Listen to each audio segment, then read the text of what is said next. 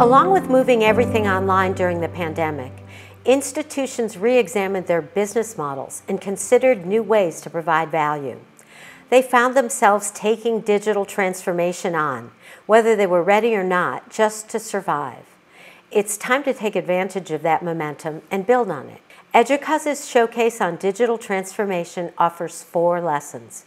Let's explore them, learn how to act on them, and then put them in context. It's time for higher education to transform, as UVU President Astrid S. Tuminez describes. The disruption has been going on for a very long time in higher ed.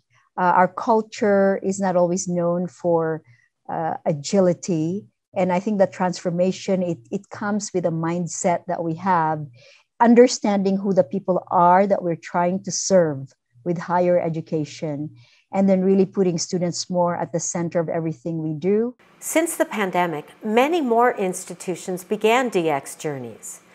EDUCAUSE's recent DX Quick Poll showed an enormous 31 percentage point jump in the number of institutions that are engaging in DX today compared with just two years ago, the fall before the pandemic. So it's time to learn about what digital transformation really is. EDUCAUSE has some useful resources to help you learn, including a solid definition, a slide deck you can use to introduce DX to a group of people at your institution, and a special website to help guide your learning.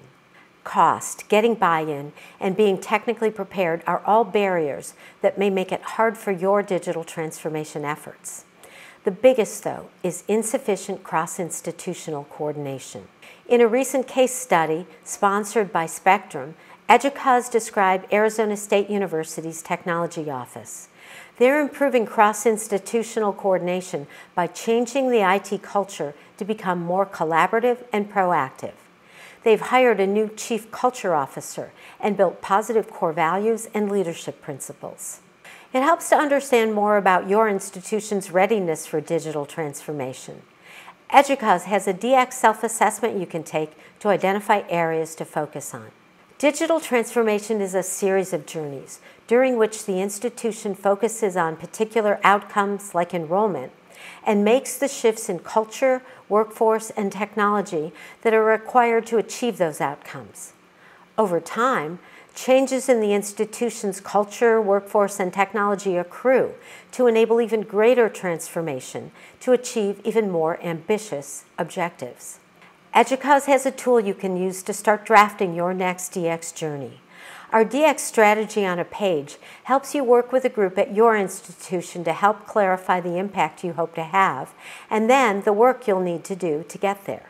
The pandemic has focused institutions on transforming teaching and learning so they can happen well, any place and any time. According to Hodges and McCullough's EDUCAUSE review article, involving faculty in DX is more possible than ever. They described a UNC Charlotte initiative to help faculty use the LMS to its full potential.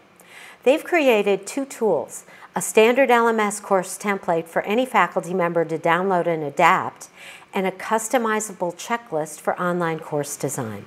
And so, we've learned four lessons from EDUCAUSE's Digital Transformation Showcase.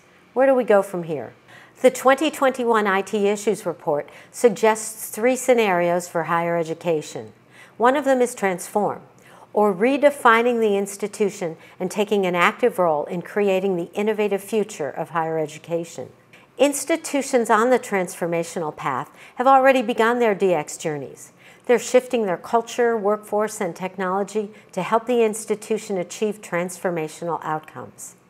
For those just beginning to explore DX, remember our four lessons and learn about DX, know where you stand, design your upcoming DX journey, and consider a journey for faculty.